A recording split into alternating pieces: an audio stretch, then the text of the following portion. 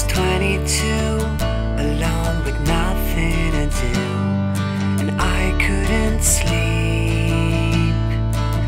Cause all those cold days returned with their old ways of causing.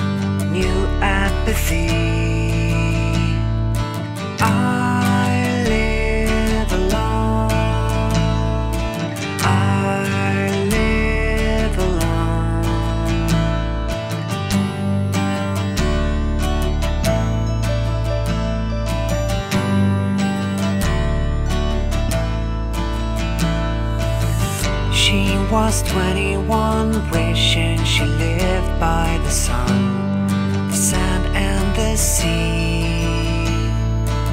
So I suggested she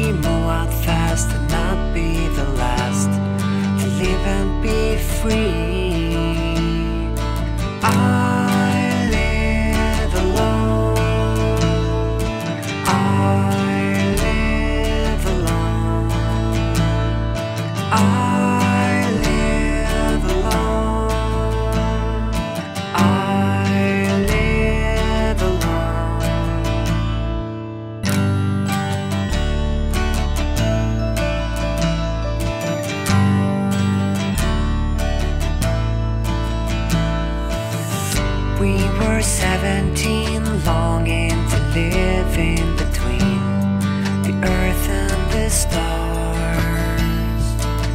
So I suggested.